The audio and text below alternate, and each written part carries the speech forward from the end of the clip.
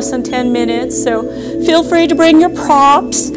Um, we don't have any announcements today from ACC, but uh, let's see. If you're new to yoga, you've never taken the class before, I suggest you kind of take it slow. You can explore each of the cues as it feels right in your body. So if at any time something isn't feeling right, you're not obligated to move forward with that, um, that pose or that suggested.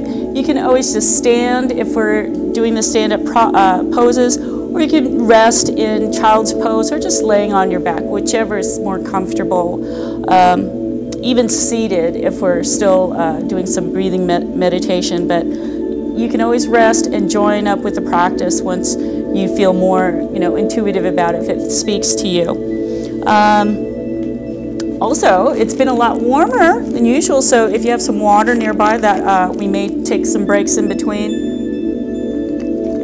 Grabbing a good, quick uh, gulp of water is nice. And with that in mind, we still have a little bit of time. Today's class, um, Gentle yoga, we're just basically having a warm-up session for the first five minutes, just to get uh, the joints lubricated, just see how we're feeling. But um, we'll have a very modified sun salutation after that. Instead of a chaturanga, um, we'll just be moving from a high plank directly to our down dog. And if you have any wrist or shoulder issues, um, you can always just skip that and come all the way back up and continue to do uh, the half lift and um, forward fold sort of mini uh, process flow that is just going to eliminate any you know pressure to the shoulders or to the wrists if you have that. Um, see, in addition to that, bringing any props like blocks or a strap to help meet the distance when we're folding. If you're somewhere up here, Sometimes it feels nice to have the gravity help you to release, you know, muscles in this forward fold that we're trying to relax. But sometimes if you have your hands, for instance, on some blocks, sometimes it helps to have a little bit of support. And it'll actually help you to release a little closer towards the floor, all those muscles that are kind of so tight. And they just need to have a little support sometimes for your body to feel like it's safe to release the muscles. It's just a self-protective sort of reflex. So having some blocks, having a strap, having some blankets nearby, and also a bolster if that's a part of your practice. But um, we'll cue for those, uh, those props. Just keep them nearby, either at the top or the back of the mat. Let's see how much more time we have. Just a few more. I'll take off my socks here, drink a little more water.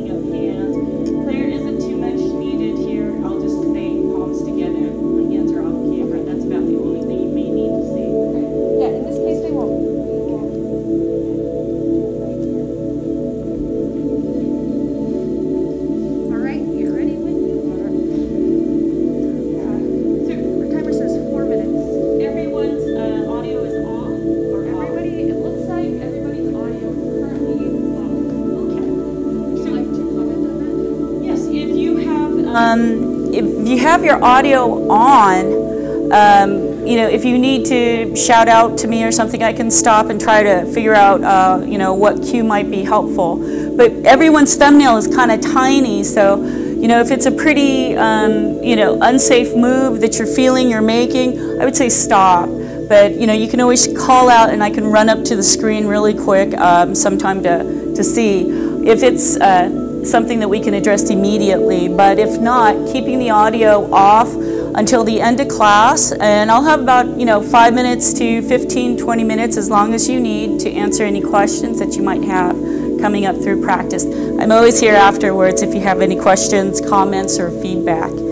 So, um, guess that being said, yeah, just not an issue. Again, something doesn't feel right, could be something you did earlier in the week. Maybe it's just this pose is not speaking to you. And so you, you don't have to do it if it's not working for you. That's always something to honor is how your body is feeling that moment. Um, and uh, I guess that with that said, we're going to go ahead and start. Is it okay to start right now or is there still a couple more minutes? Three more minutes, okay.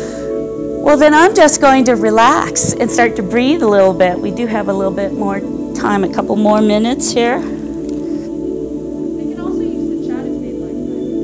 Okay. If you want to talk, if you want to say, we have a couple of minutes. I'm informed by our, our trusty um, video filmmaker here. So if you have any questions, um, yeah, I should be able to hear them, right?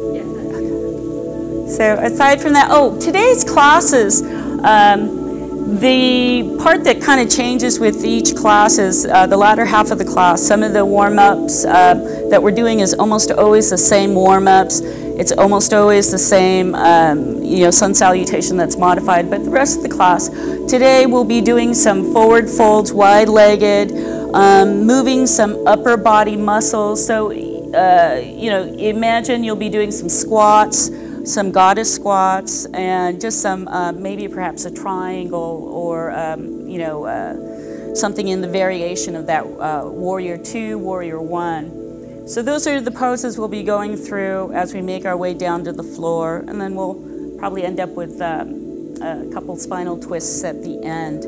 Um, but aside from that we're doing pr primarily stretching of the lower back um, the usual suspects with major uh, muscle groups with our sun salutation flow. It's just basically to get it, uh, get our, our system, our circulation running a little bit. There's a comment.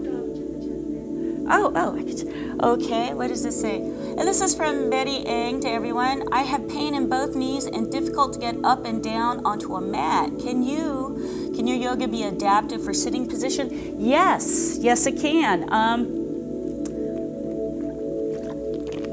the part that we're doing while we're standing, warming up, should be okay. Doesn't require getting down on the knees. However, the part where we're actually moving down to the floor, you won't be asked to come back up. So hopefully that will help any up and down movements uh, that you may have issue with for your knees. Um, if when we're down on the floor and we require to be on a tabletop, yes? Oh, I'm sorry, I didn't hear that. Hello? Is, is that Ava? Or, oh.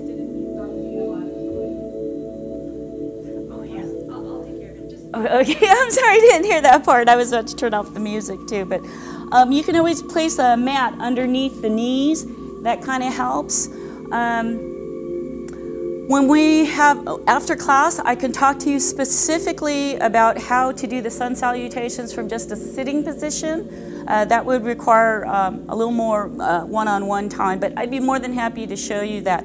You can do these things on the floor where you're just basically uh, bending at the hips to do a lot of the folds instead of standing going down into a fold. You would be sitting and basically folding the torso over the legs. So that being said, we'll go ahead and start. And I think that was Betty Eng. I'll definitely talk to you after class. So for now, all right, let's go ahead and begin at the back of the mat. As we're arriving, you can set your intention if you have one. Or you can just sit, stand, excuse me, at the back of the mat in our mountain position. And as you're returning to this pose, um, just know that your mountain might get a little taller as your legs become a little longer, a little straighter, supporting the body, as the back becomes a little taller, a little straighter. So just something to think about if the backs of the legs are really tight. Just go ahead and bend the knees, have a micro bend or even a deep bend if you need something to help with that tightness. And then as we're standing, just noticing the breath. You might feel the mat under the feet. Might be feeling the heartbeat in the chest. just slowing down a soft gaze. So as we become a little quieter, the breath length may lengthen to about four to five seconds. As we start to inhale with a little more control, you may feel the top of the inhale, your collarbones are lifting A brief pause before you start the slow exhale. With that bit of control and releasing the air through the nose, the bottom of the exhale, just gently engaging the belly. You might draw the belly button towards the spine. Then, with that brief pause before you start the breath cycle over again. So now with a longer breath, we'll cultivate that ujjayi breath. Something akin to hearing a sigh at the back of the throat. Feeling expansive, as if air is really just passing over the voice box and you can hear something like a wave or a sigh at the back of the throat on both the inhales as well as the exhales.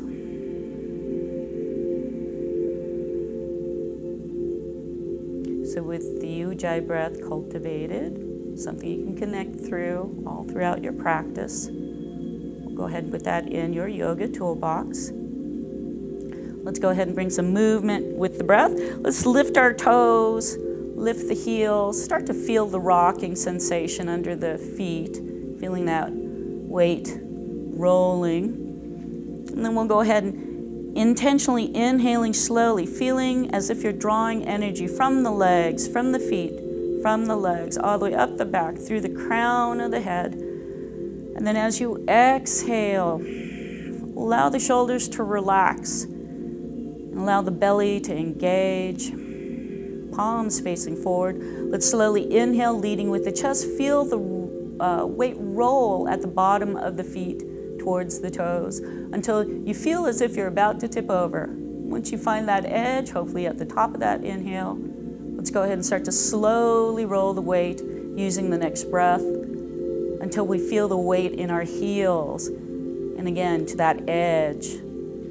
Begin using the next few breaths to find that forward to back center of gravity as it rolls through the soles of the feet and keeping the breath through the nose. We'll meet somewhere back at center after a couple of rounds here. Just sink back into the mountain. And to reset, we're going to just feel a little taller, lengthen through the legs, the back, the neck, crown of the head. And then with that lift still there, let's go ahead and exhale. Slowly shift the weight towards the outer right edges of the soles of the feet. We can inhale back up to center completely and then exhale over, or just inhale all the way to the other side.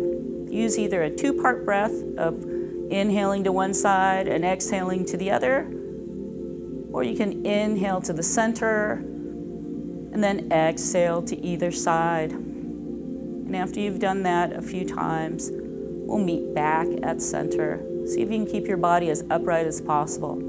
Settling back into our mountain, let's reset it. Inhaling nice and tall lifting through the crown of the head. We'll make small circles in one direction. And it's almost as if we're a big, tall wooden spoon stirring a pot, keeping contact at the bottom of the pot there, if you will. Finding that edge so that we can identify the perimeter of the soles of the feet. And then once you've done that, you can go ahead and tighten in those circles. We'll meet back at center resetting into the mountain, inhaling tall, making small circles now in the opposite direction. And hopefully you're getting a smoother transition. But if it's really tight on one side than the other, it might be a little choppier. Just something to notice. We'll tighten in the circles and meet back at center like water going down the drain. Okay, let's go ahead and come on up to our uh, hip uh, rotations and momentum swings. We're basically standing taller in our mountain, just pouring some weight into our left standing leg, feeling as if we're just stacking everything in one big column of support so that we can lift the right foot, just slightly hovering it with a flexed foot. If you can maintain that slight balance, see if you can, and you might have to tap down every now and then, but see if you can swing the leg as one unit, forward and back. We're getting that hip joint on the right to hopefully make the movement front to back, forward and back of the midline. And then letting that right foot land gently. Let's go ahead and bounce a little bit. We'll pour some weight once more into the left standing leg, nice and tall. And then we're going to inhale, lift the right foot, bending the right knee more towards the inner, then rotating towards the outer area of the foot and the leg, right side. Inhale tall, bring the rotation towards the inner thigh and move it towards the outer thigh with a hip rotation. We'll do that about four times. And as you find that movement is available to you, you can speed up that rotation. After about four, we'll go ahead and move from the outside to the inner direction of the rotation on this right side. And if that feels good, you can speed that up. We're just trying to make sure we find that movement nice and open in the right hip. Let's go ahead and be tall in our mountain once more, pouring weight now into our right standing leg, lifting the left foot, flexing the foot just slightly so we can hover that foot, finding that balance. Let's just swing it forward and back we have a midline that we're going front of and in back of, if you can see where my left hand is. That's this vertical, that's this plane of the body in this direction here. We just want to see if we can get that left hip to move front and back and then allow it to land. That was a little longer than I usually spend there too, by the way, but if that felt good to you, feel free to do more of that later. Now, we're going to stand tall in our mountain, pouring weight right back into this right leg once more. And then we'll lift the left foot and bending the left knee, we're going from an inner to an outer rotation of the left hip. We'll do that about four times. And as, again, that's space is available in the hip, we can make the movement a little bigger if that feels good. Now we'll reverse our direction. We'll stand tall in the right leg again, and then lifting the left foot outer to inner rotation of the hip. Slightly moving it for me. It's my tighter side, getting a little bigger in my rotation as I find that is available. And then just to unleash any uh, hidden tension, any hidden activation we forgot to let go of, you can just bounce, just jiggle a little bit. We'll move on up the body towards the shoulders. So palms facing forward, should be a little taller in our mountain, and as we're lifting up through the crown of the head, feeling as if there's a gentle tuck of the chin and a string pulling up through the crown of the head, let's go ahead and inhale. Shoulders lift directly up. Exhale, allow the shoulders to rotate back and just melt down the back. We'll do three more of those. And see if you can inhale lifting and exhale to release just that movement in the shoulders. See if the points of the shoulder blades, the very bottom, can tuck into the mid back. We just want our arms to be nice and relaxed, like little noodles. Well, the rotation is simply in the shoulders. After doing about four of them, rolling back on the exhale, let's do another round. But this time, inhaling up, we're going to roll forward and down on the exhale. So this time, the rolls are forward on the exhale And hopefully getting a better idea of how our shoulders are feeling this afternoon. And remember, at the bottom of the exhale, it's always a great time to just revisit that core, slightly engaged. And we'll go ahead and move all the way up to the neck. Here's our last warm up. We're, again, energizing through mountain, through the crown of the head. And then exhale, just let the right ear dip towards the right shoulder. Left shoulder and right shoulder are in line. And if the left shoulder lifted, go ahead and exhale, bring it on back in line with the right shoulder. When you're inhaling, feel as if uh, you might feel even the chest lift at the top of the inhale. There's that nice length and then the exhale is so good for turning the gaze, feeling that extra stretch.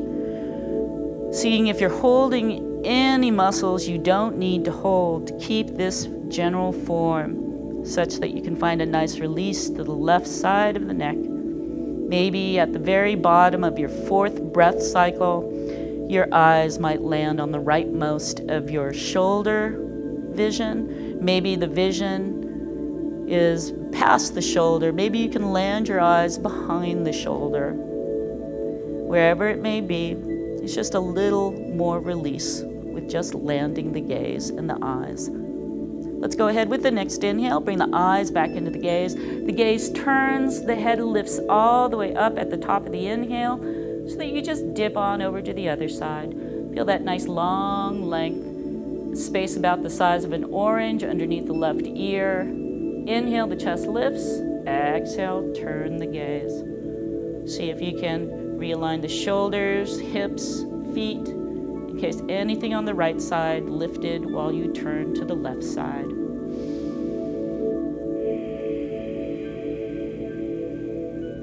And after your very last inhale and exhale, we'll go ahead and bring the eyes back into the gaze. The gaze turns and the head lifts completely at the top of the inhale and then allow the eyes to roll downward, leading the gaze to land somewhere at about the top of your mat.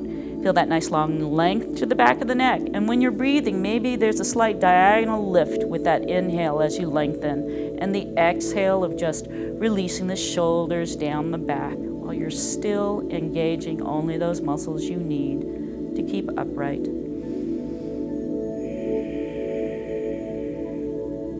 Palms facing forward. And after your last breath cycle, allow the eyes to lead the gaze back to the midline, past the midline, rolling the eyes above you, stopping when you look above you, and keeping some uh, length in the neck without craning the back. We want to feel an opening to the front of the throat, and you might be able to facilitate a release in those muscles, even the tongue those muscles in the jawline by simply opening the mouth to a small O, enlarging it to a larger O. You can loll out the tongue. Ah. You can even sway the jaw from left to right. Breathing deeply, let's go ahead and bring the gaze back to center. And just get rid of, shake out any tension in the feet, in the legs, shoulders, you can go ahead and just release it and then come back to our mountain once more. We'll start with our first fold. So feeling nice and tall in our mountain, let's go ahead and start reaching down towards the mat with our fingers. And then inhale, elevate the arms as we're still reaching. By the time the hands are above the head, maybe even the torso could lift at the top of the inhale. And then exhale, engage the core. Start to bend at the knees if you need. But coming down halfway, you might need to bring the hands to walk down the thigh and chin, avoiding the knees, and just let the back unfurl, unfold. And wherever your hands may land, maybe you need more of the uh, forearms resting on the thighs to help. If you feel like you're tipping forward, roll some weight towards the heels. Hopefully, you're feeling that center of gravity from the hip bones all the way down to the hips so that as you lengthen through the legs, as it becomes available to you, you'll have eventually a, a nice uh, support from the tailbone down to the heels. And you could just let everything in the back and the neck and the head just hopefully relax and let gravity help traction and bring some release to the spine and the neck.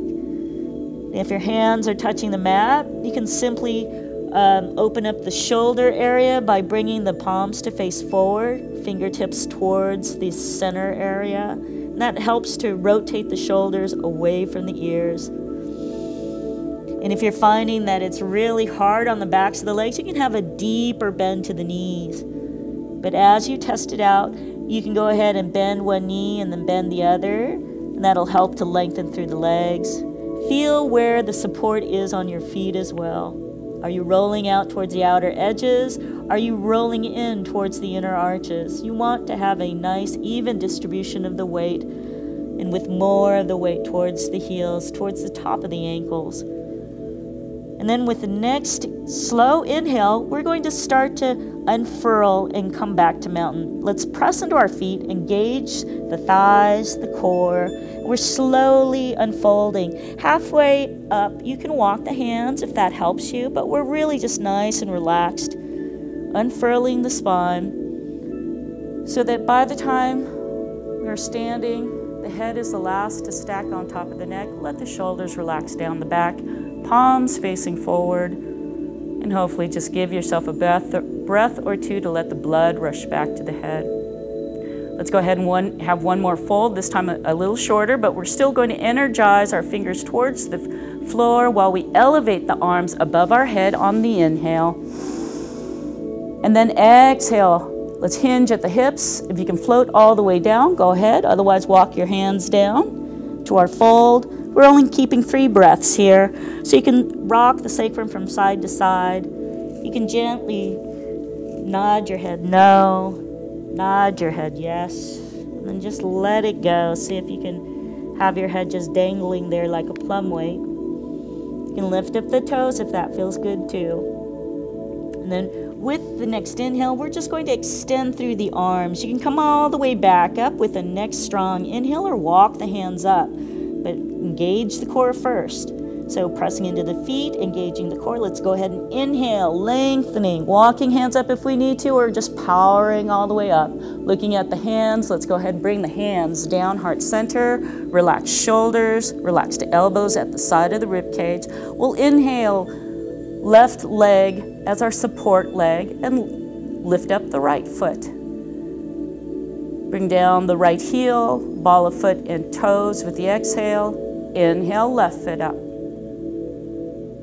Exhale the left heel, ball of foot and toes down. Inhale, right foot up.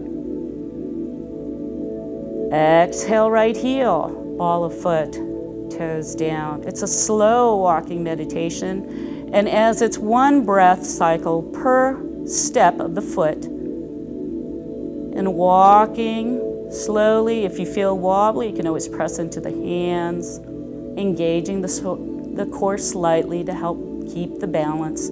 At the top of the mat, let's look at our fingertips, watching the fingertips rise. Let's go ahead and lift the hands up.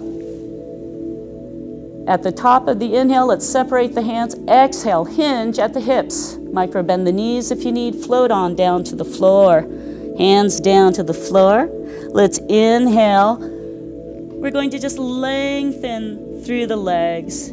It's like you're spinning the sits bones back, lengthening from the hips all the way down to the heels for our uh, center of support, and also from the tailbone all the way up the back, through the neck, through the crown of the head. And we're looking directly down at the floor. Let's go ahead, exhale. You can bend the elbows, bend the knees if you need, and come back to your fold. Fully exhaled here. Let's bring our hands to either side of the mat, of our feet, and we're going to step the right leg back. Inhale, let's step the left leg back. And rotating shoulders away from the ears, we're pressing into the arms, bringing the knees down, and feeling the tops of our feet meet the mat. You can keep the toes tucked if you need to, but just stand um, in this modified high plank we're just going to feel the openness of the shoulders, bringing the hands to be nice and splayed. Index and middle finger is up above towards the top of the mat. And then let's go ahead, tuck the toes, lift up the hips with the inhale. Exhale, press the hips back to our down dog. We'll go ahead and step left knee down, or bend one knee, left heel up, right heel down. And then you can alternately walk each leg, bending each knee, walking your dog. And we're here for about five good breath cycles. So, giving yourself some time We're just pressing into our hands, feeling that openness in the upper shoulders. And hopefully, your ears are somewhere in between your arms, and the heels do not need to be on the mat, they can be lifted. But as you inhale and roll to the tips of the toes, feel if, as if you're carving out the core and then pressing those heels downward as is available to you. You may find that they meet the mat eventually over the course of time, if not now. And then with the next inhale, we'll go ahead and look to the hands and walk the hands. Bend the knees if you need to. Walk the hands to the feet.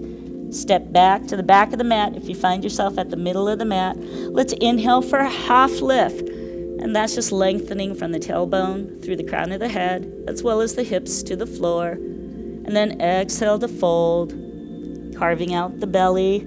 Fully exhaled here. Let's press into our feet, extend those arms, and you can inhale all the way back up or walk your hands up. Exhaling hands down, heart center. Prepare for our last Walking meditation. Inhale, lift the right foot, pressing into the hands for stability. Exhale, the right heel, ball of foot and toes down. Inhale, left foot up. Exhale, left foot down. Engage the core to help keep the balance. See if you can make it one breath per step.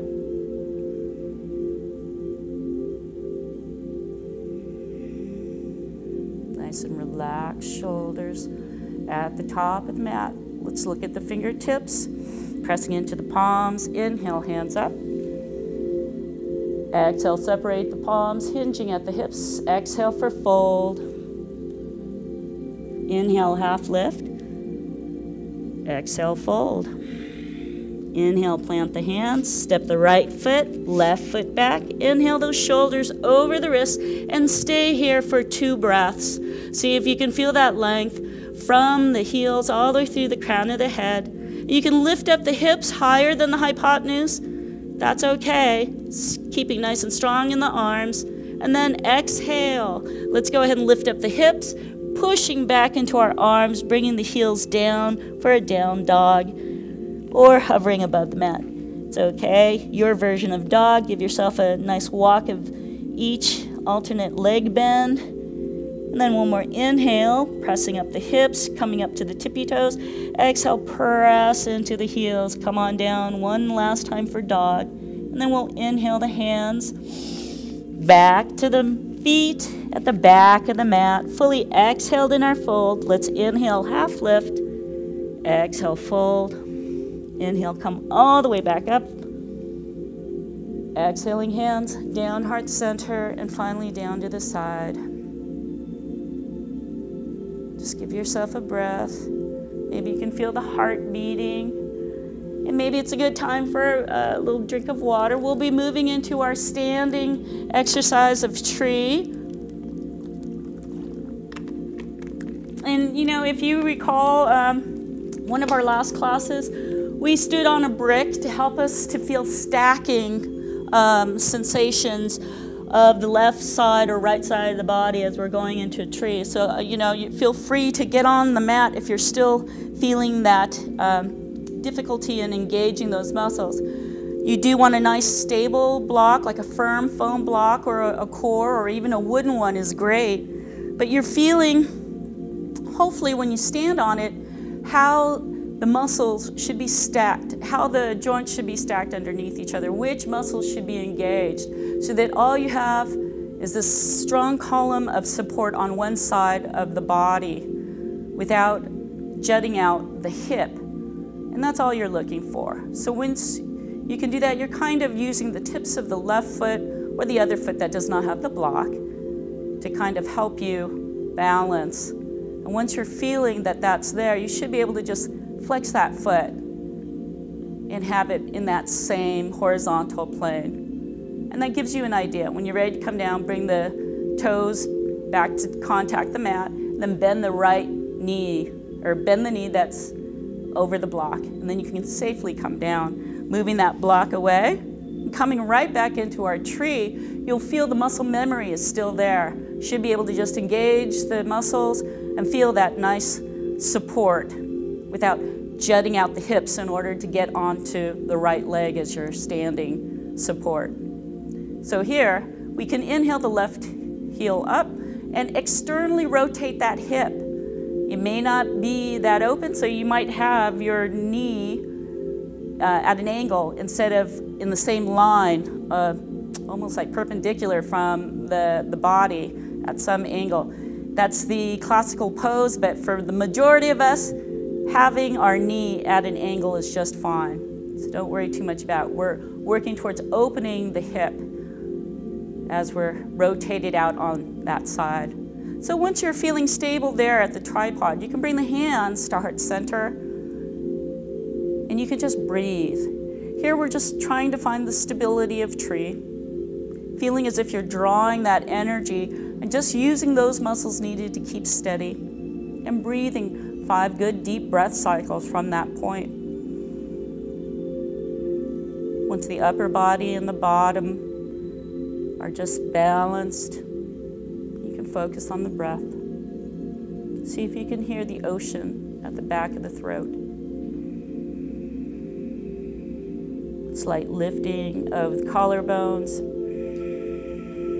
and more of an engagement of the core with each bottom of the exhale. When you're ready to come out, start from the hands, releasing from the hands, internally rotating the left hip, letting that left foot land. And your right glutes and legs should be really nice and tight. It's been working to support you through those two poses, that initial tree as well as our regular non-block supported tree. So let it go. Kicking forward and to the side before you cross your midline will help avoid hopefully any injury of tight glutes so as medials. So let's go ahead and start on the other side now. Coming over to this side, getting on your block if that's what you did, or you could just go into your tree if you already have a good stable trunk. And all we're doing here is just setting up our tree for the first round on the left side now pouring weight into that left standing leg. And once you're feeling stable, if you're on the block, you can just go ahead and flex the foot, have it hovering so that you can feel the engagement of the left side of the body. And that's usually about three breath cycles there. And when you're ready to come down, bringing that tip of the toes of the other foot onto the mat, bending the left knee and then letting the right mat foot land. Then you can get rid of that block. Just move straight into tree with the left standing leg. Inhaling long. Exhaling to stabilize, and then you can inhale the right foot up. Externally rotate with an exhale, and then bring the right heel to the rest on the left ankle. Once that bottom portion of the foundation of tree is settled, then you can go ahead and bring the upper body into play. And remember, we're trying to open up this right side of the body while feeling just stable, nice and supported in this tree and the opening of the right hip. A soft gaze, you're not really staring at anything releasing the hand. Then internally rotating the right hip before we land the right leg. And maybe the left leg didn't have to work as hard. Maybe it had to work twice as hard. Notice how it feels, if there's any difference. And then we'll go ahead and uh, move into an open, a wide-legged forward fold stance. So we'll be moving into a squat from here later. So if your blocks are nearby, if they're not, go ahead and bring them nearby. But if your blocks are nearby, you want them probably off the mat, somewhere in forward fold position that you can reach just above your feet. Now, checking out the wide-legged stance distance, it's usually about three to four feet for the average person. But if you have really super tight uh, hips, two to three feet is probably a good uh, indicator. That's about two tiles that I always judge by uh, here in the community room. And then if you notice if you're having difficulty with knees needing to bend, and that's just something that is uh, having to do with the tightness in the knee and the hip joints. So sometimes it can be um, worked through with just some time. Again, sometimes your body feels that it's tightening up because it's just not sure how stable a new position might be. So giving it a little bit of time to feel safe. You can notice if that is indeed your edge. But as we're lengthening through the legs, what we're trying to find is again, your feet. Are, are they rolling more of the weight and support towards the outer edge? Are you weighing in more? With more of the weight towards the inner arches, you might find a bent knee um, positioning of the legs. So we're trying to lengthen through that. So you're really wanting to have flat feet. Support on all points of the feet, just coming uh, down directly. And then as they're wide, you may find that your ankles will go in a little bit, and that's okay. But we still want to have our feet basically just resting without feeling rolling out or rolling in of the weight underneath the soles of the feet. Once that's good, we'll go ahead and bring our hands here, nice and long. If you've noticed that you've got your body tilting towards the front, if the chest is leading towards the front, just see if you can bring the shoulders to stack above the hips. From the side, it may look a little bit like this when we start, and we're just starting to lengthen, starting to straighten out tucking under the tailbone, pressing the hips forward just slightly so we have good stability here. And then we can bring our hands to the hips. And then with the next inhale, drawing that energy from our feet, feeling as if the crown of the head has a string lifting up. We're going to hinge just at the hips. Let the hips move back slightly and start to lead into the fold. Somewhere halfway down, we may need to walk the hands down. You may need your blocks somewhere here. I'm just going to turn this point. So if you come to where your blocks are, you can have your hands here. We're slowly trying to bring our chest closer towards the thigh, towards the floor. So we may have a process we're going through. You may need to rest your forearms on the highest setting of your blocks. You might be able to play with the setting of the blocks. But eventually, all we're trying to find is a nice fold with the legs in a wide legged stance. And you're going to feel, hopefully, the center of gravity more towards the heels, not towards the toes.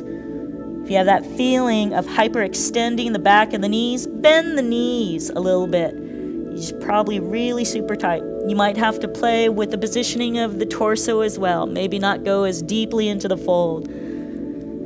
But when you find your special spot, all we're going to do, hopefully, is just relax. Eventually, you might be able to remove the blocks.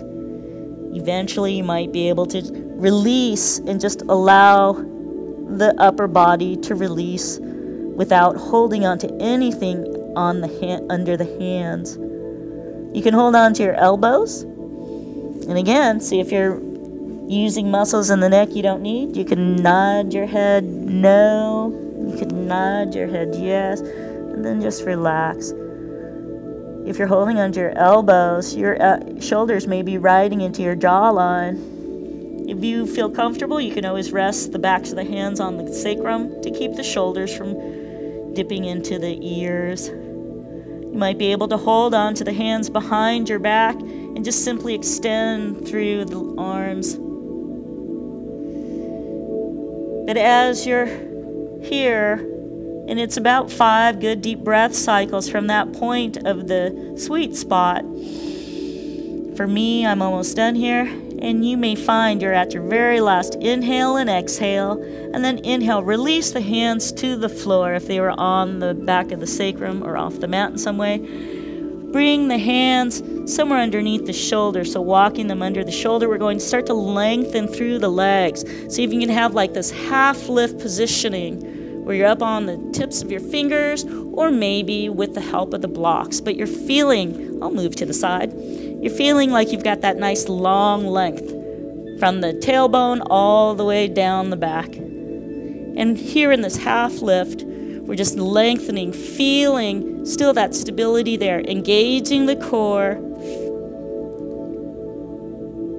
And then go ahead and exhale, release the body once more into the fold.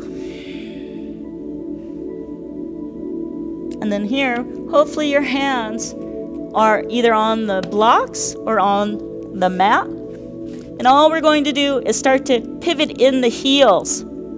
Now, you can start to pivot the toes in a little bit more and the heels in if that feels better, but usually one pivot in of the heels is good. And then you start to lower the hips downward. And then here, you may need your blocks to help you. And you can grab a hold of your blocks, your heels will lift, and you might need to bring the hands down in front of you. You can bring the blocks underneath the heels to help. If your heels do not meet the floor, your hands can be in front. They may need to have blocks as well as have the heel supported by the block. If that is good, we're just trying to release through the arches, through the Achilles heels, and eventually, if you're able to bring the heels all the way down, you can have a deep squat. Now, if you're not used to squatting, you're probably ready to come up. So if your hands are on the blocks, we're going to go ahead and lift the hips slightly and walk the hands down. And now you should be close enough to the mat to just bring the shins down. And if you're able to sit on your heels, this is a great time for you to do so or to use a block if you need a little support. If you need to meet the mat, if you need to have something between you and the hips and the heels. Could be a block, could be a bolster, could be a rolled up blanket. But if you're able to, we're eventually sitting upright. So your toes are not tucked, but if you need to tuck them, you can lift forward and just bring the uh, toes to stretch a little bit. And you can stay in hero here. You don't need to be upright. But now we're moving into our hero pose. And some of you may have a blanket in between the heels and the hips. Some of you might have your toes untucked and the hips directly on the mat. But when you're there, you're just breathing keeping upright in the spine, shoulders stacked above the hips. The chest is lifting with each inhale, core is slightly engaged. And relax shoulders, elbows nice and heavy, nice and relaxed arms at the side. You can always cup the palms so that they're facing upward.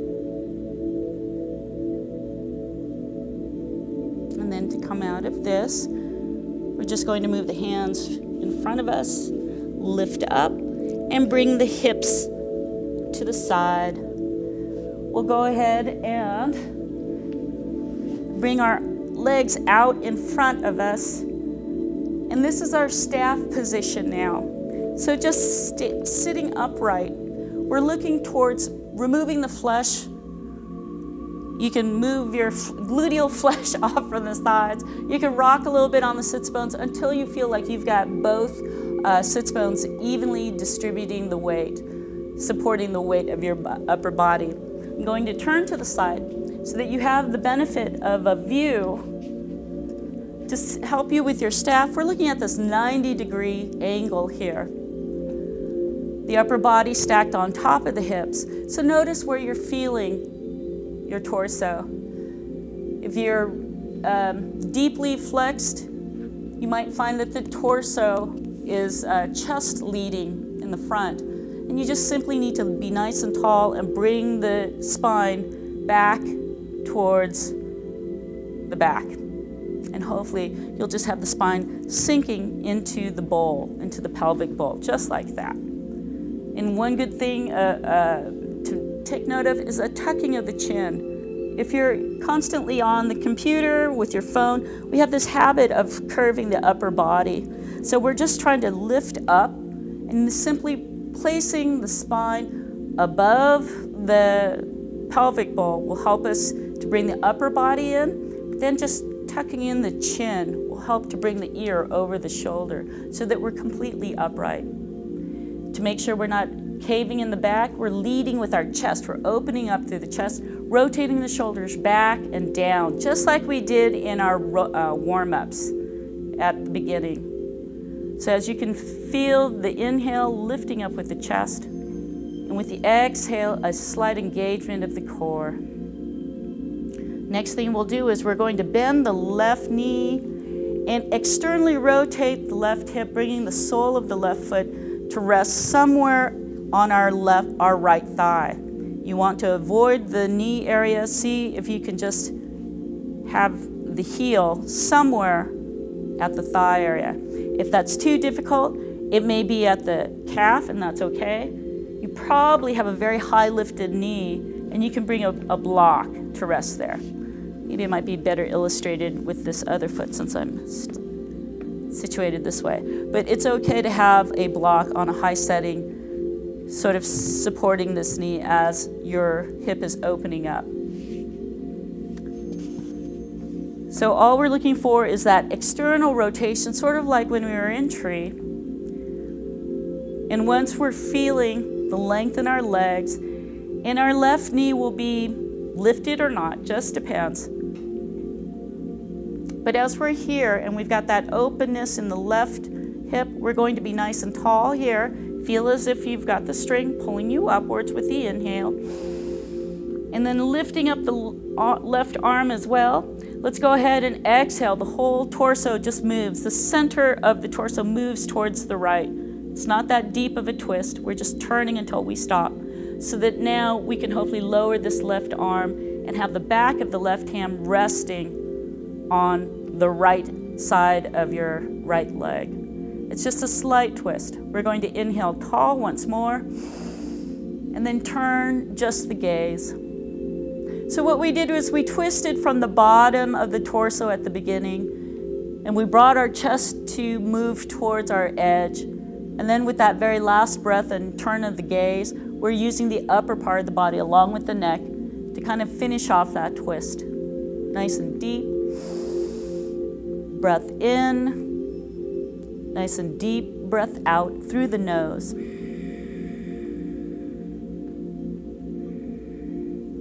Couple more breath cycles. See with the very last exhale if you can land the eyes to the right side of your vision. And then with the next inhale, let's bring the eyes back. The gaze is going to be in line with the chest. We're going to release the hand and start to move the chest towards the center. Return it to center, both at shoulders at the same time. And then we can inhale. You can help to guide this left knee upwards as we're lengthening the left leg and allowing that to land. Go ahead and tap that out. We'll do the same thing with the right leg. Situate the gluteal flesh away from the sits bone so you're nice and supported. And then we'll go ahead and inhale nice and tall, bending the right knee. And then exhaling to draw the right sole of the foot along the left leg.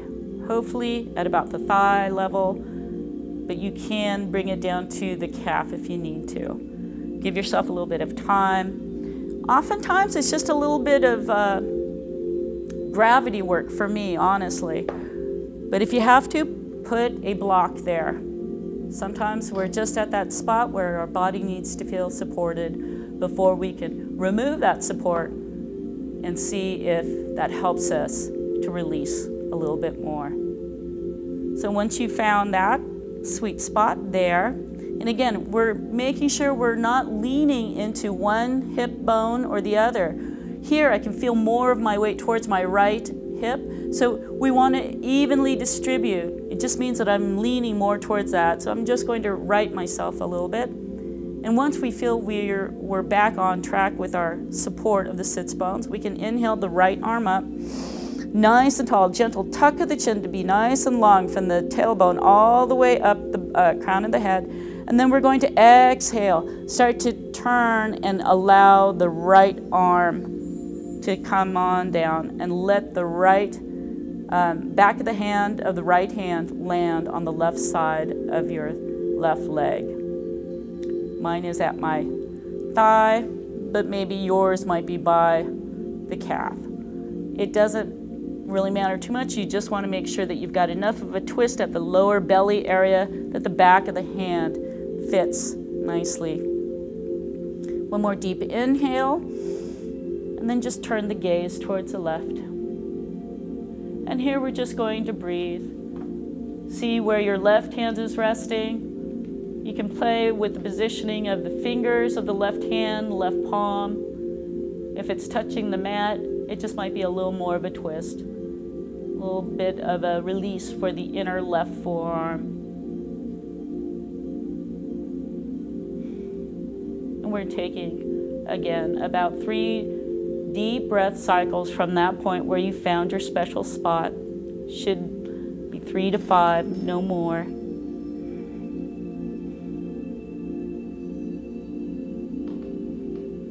And as you finish up your very last breath cycles, we'll inhale nice and tall, and bring the gaze, the hand to release. And then the chest together, once it's all back, can come together back towards the center. And then inhaling to help this right leg up and extending that right leg nice and long. You can tap out the knee, you can tap both of them out, wiggling the toes. See if you can bring the to uh, big toes to go forward, back toes, alternately forward and back. And then we're going to use both of these legs in bending the knees, coming into our butterfly. And here it's just sitting upright. And you're probably going to take about three to five breath cycles just to find your edge in this point here. But many of us have really tight hips, so Again, we're trying to feel as if we've got even distribution of weight on both sits bones. If you're leaning to one side or the other, just rock until you feel like that center of gravity, even distribution of weight. And then as the soles of the feet meet, you might have more of a diamond shape. If this is as uh, far as bending the knees to bring the soles of the feet together that you can. But as you're opening up, we're drawing the heels closer towards the groin. So your diamond shaped legs may become more of this really, I guess, butterfly shape. And the toes don't have to touch, but you can have them, you can bring your hands to rest gently on them if that feels good to you. But eventually, as we find that sweet spot in our uh, butterfly, we're hopefully finding the uh, point where we can open up the hips feeling nice and tall. We're going to inhale. Feel as if you're breathing length in the spine through the crown of the head, like a string is pulling from the crown of the head. And then hinge with the next exhale from the hips, just leading with the chest. And as you can see, I'm barely folding forward. This is about where I am now. And I don't know about you, but many of us, if we are just not um, you know, as flexible as we used to be, don't be surprised where you are right now. Eventually, we're hoping to bring the chest to lay on our feet, on a bolster, on some blocks. But eventually, we want to hinge at the hips and rest something on our chest. And for some of us, especially me, it could be that you're just upright with a slight hinging at the hips. That's okay. Then at this point, when you've hinged no further, you're at your sweet spot and you can just relax the upper body.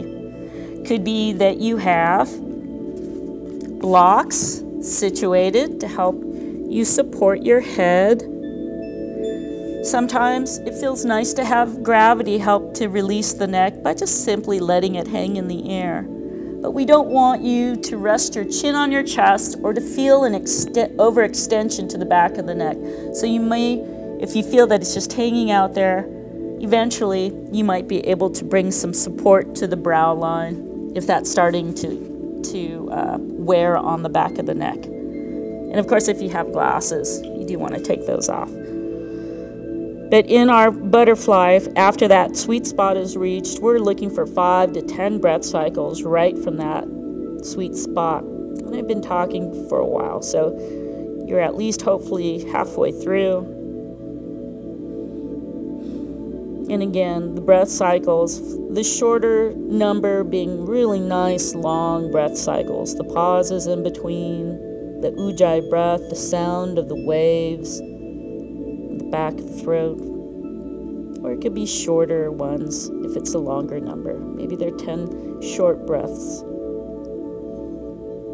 Just spending a little bit of time here. And when you're ready to come out, you start with the support of the head Lift the head, bring the hands underneath the shoulders, start to walk them there if you need to to help lift up the chest. I didn't hinge very deeply today, so I didn't have very far to go. But for you, you want to make sure your body is lifted upright, and then when you're back upright, you can start to bring the legs back together. You can help guide the knees back up and then lengthen through the legs. You can tap those out. We're making our way to our back. If you have a bony back, a nice blanket to support the back has always done me well. But if you're comfortable on a nice uh, concrete floor like this one, go for it. And as we're just leaning, laying down, and you can come down to your back, um, however is good for you. Each of us has our own little thing. We're going to get very comfortable for the next five minutes. And just imagine laying down and just feeling supported for the moment. Savoring that. You may feel this uh, hip area really tight, so give yourself some time to kind of unwind. If you're still holding on to glutes or you find that a calf or a shoulder is lifted, you may still need to relax some. So just focus back on the breath. and I'll be sitting upright to mind the time. But in our final Shavasana, if any thoughts should come up, if any noises, if anything breaks your concentration, that's okay. Just note it and then let it go with the exhale. Allow yourself to return to the breath.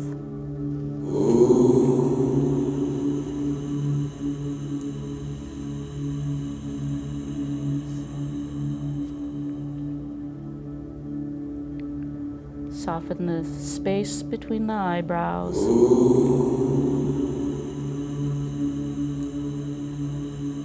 Awaken at the sound of three bells.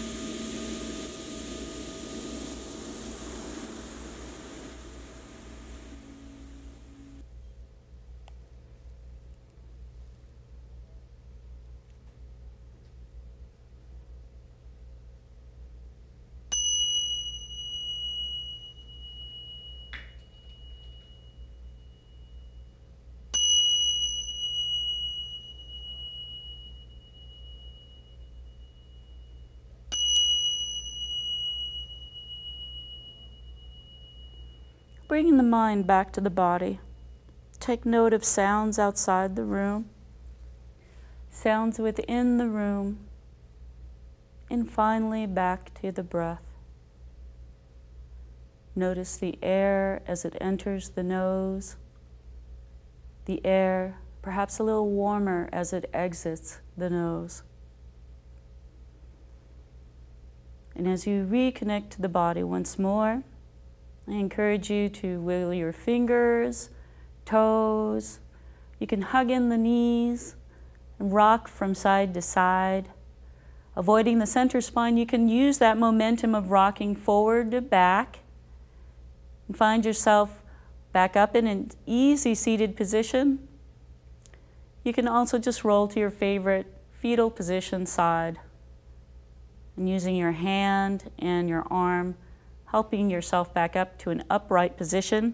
And feel free to come back uh, seated upright with one leg folded in front of you, one shin out in front of you, or with your legs uh, straight out, extended out in front of you like we were sitting in staff. But we'll be ending our class with a simple breath exercise. It's the um, Nadi Shodhana uh, breath exercise, which is essentially just an alternate nostril breathing um, exercise to help balance the sides of our body and also bring a little more energy as we've uh, woken up again, maybe for the second time today.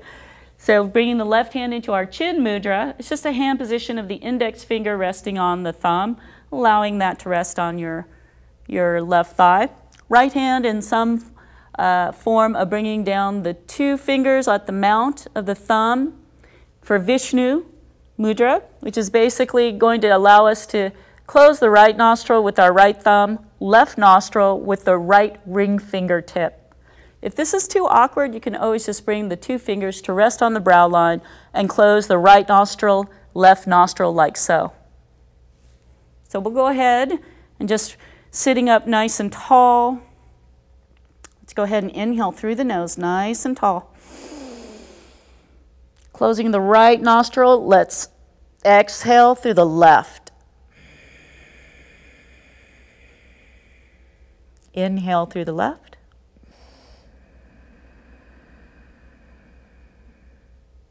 Close. Exhale through the right. It's a slow, controlled exhale, engaging the core, drawing the belly button to the spine at the bottom of the exhale. And then inhale. Feel the chest lift, feel the rib cage expand, crown of the head lifting towards the ceiling. Close. Exhale through the left.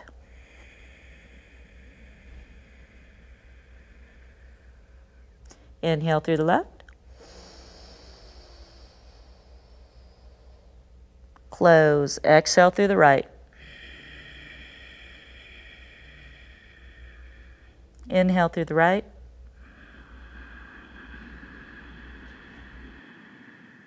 Close. Exhale through the left. Inhale through the left. Close. Exhale through the right. Inhale through the right. Close. Exhale through the left. Inhale through the left. Close. Exhale through the right. Inhale through the right. Last round. Exhale through the left. Inhale through the left. Close. Exhale through the right. Go ahead and release the right hand. Release both mudras. Just let the breath come back to its natural state.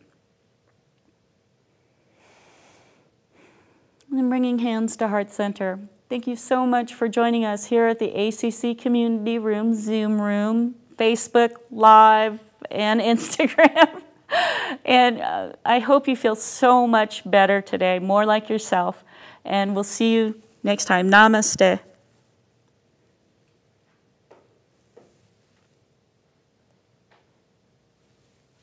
And if you have any questions, comments, or feedback, I'm more than happy to stick around for the next uh, five to whatever minutes. Thank you so much. This is Betty. Do you want to um, expand on sitting? Okay, Betty, do you have your um, your uh, video on? Yes. Okay, let me take a look. Is there any way that we could get uh, Betty's uh, screen to show up as she's talking? And if there's, um, here, I don't need my socks right now, but let me just grab this over here. Put this back. Hi, Betty. So, um, when we moved from the floor, from standing positions to the floor, we kind of um, like made our way down to the floor using squats. How was the, how did that work for you? I hesitate to do that. Um, even standing, um, there were some points where balancing is an issue. Yes. So in lifting the, uh, the feet up, for instance, and circling, that could be painful. I'm afraid of losing my balance.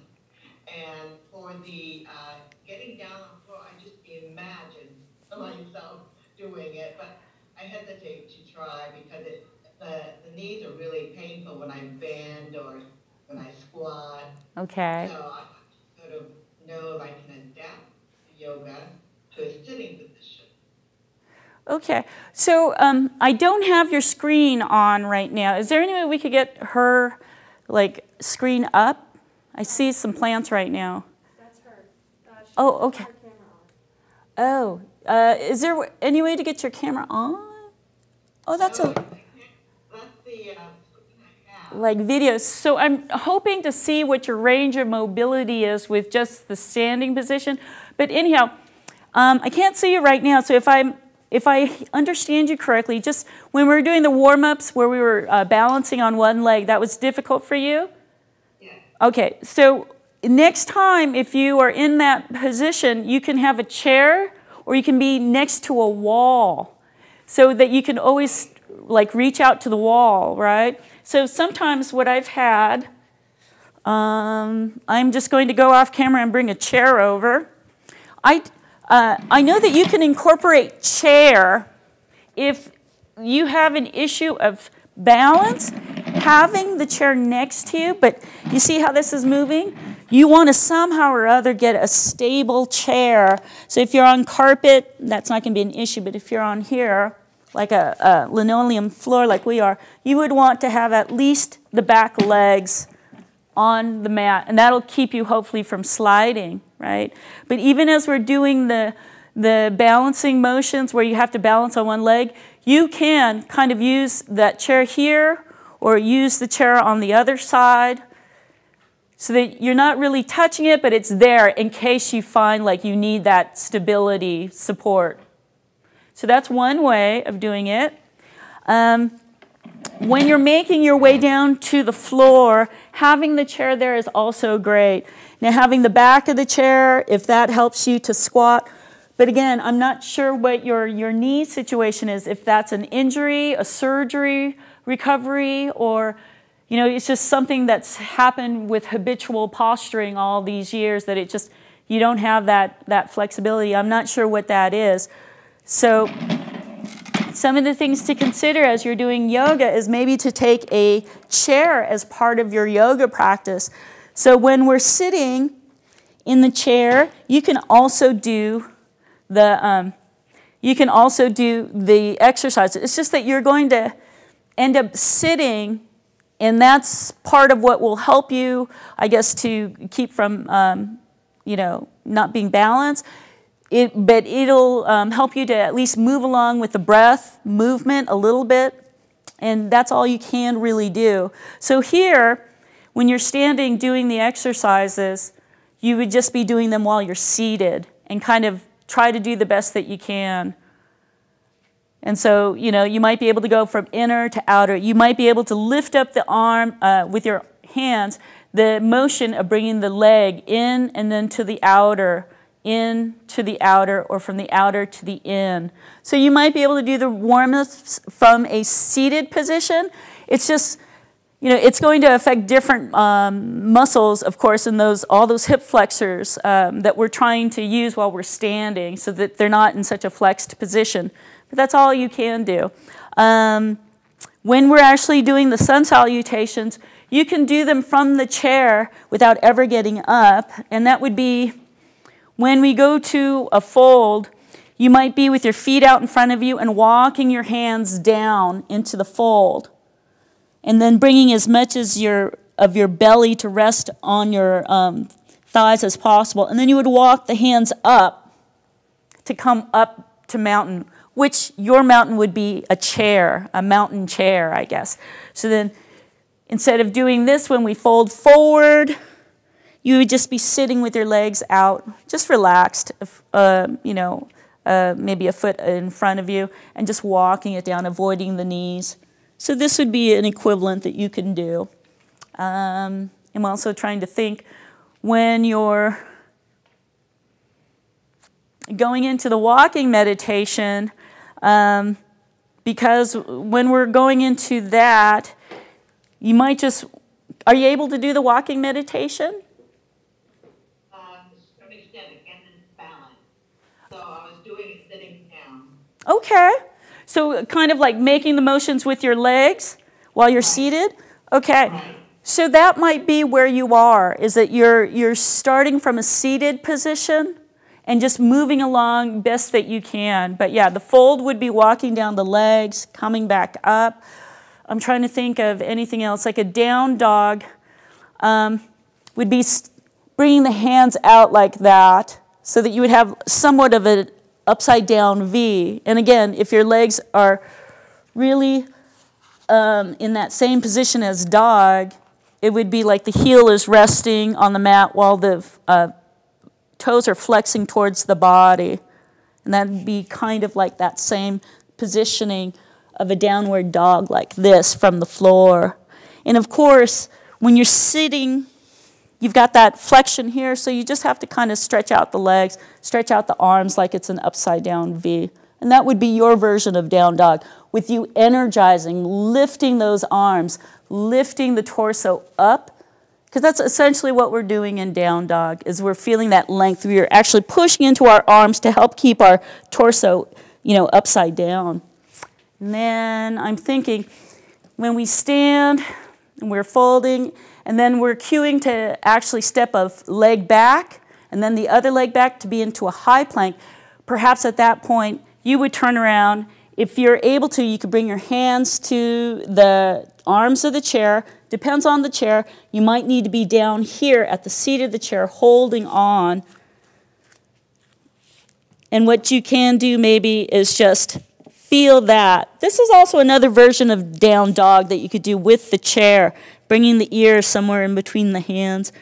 But maybe when we're here, if you're able to, to just uh, bring the shoulders over the wrists. And, you know, it's going to feel a little awkward on the wrists there. So it might be that you just make a, a gentle forward movement of the shoulders towards the wrists and not exactly over the wrists because it's a little awkward with the chair. But you can do that, bringing yourself into a high plank this way or a down dog this way with the use of the chair. And the only thing would be coordinating that chair in the walking meditation. But that might be something that you can do as a sort of like a slower part and a more uh, modified part of the beginning of this class. Would that work for you? Does, do any of those exercises seem um, attainable or reachable? I'll give it a try. Thank you.